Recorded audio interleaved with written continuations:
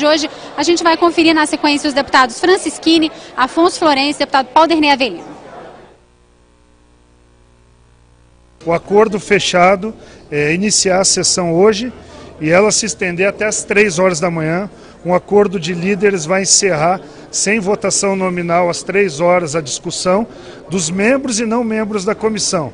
Nós retomamos às 10 da manhã de segunda-feira com os líderes de partidos e os líderes encerrando a, a, a orientação nós iniciamos o processo de votação do impeachment que será levado depois em 48 horas ao plenário. Essa, esse é o